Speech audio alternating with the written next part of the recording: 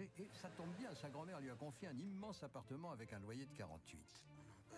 Sa fille et son mari Martin sont là. Ah, Martin, il lui arrive d'aller voir ailleurs. C'est excitant, un homme qui me résiste. L'appartement est vraiment très grand. Il y a aussi la petite sœur et ses copines, Joséphine, notre grand-mère. Qu'est-ce qu'elle fait? Non, non, non, non, Joséphine Qu'est-ce que vous faites là toutes Mais c'est le salon, Joséphine Et enfin, Adrien, cinéaste en jachère et séducteur compulsif. Elle m'aide à ranger mes bobines. En fait, la seule personne à ne pas y habiter est la seule vraie locataire, la grand-mère de Francesca. Oublie une chose, c'est qu'on risque d'être foutu dehors. Oh, pas tout de suite, tout de suite. Commandement de quitter les lieux. Non, mais qu'est-ce qu'il fait celui-là? Qu'est-ce que je fais, moi, avec Lucie? Qu'est-ce que je lui dis? Ah oui, non, non, ne t'affole pas. D'accord, en attendant, on, on est mal barré. Sûrement la convocation au tribunal. Et on n'a toujours pas de grand-mère.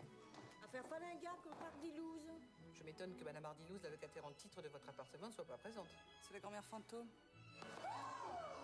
Toi, évidemment, tu t'en fous, c'est moi qui me tape tous les emmerdes. Oui, allô Véronique, c'est Martin, c'est moi. On pourrait se retrouver à 15h au Rapide Hôtel. Je t'entends pas, dis quelque chose. Mais là, je sais pas trop quoi te dire, Martin. Musique.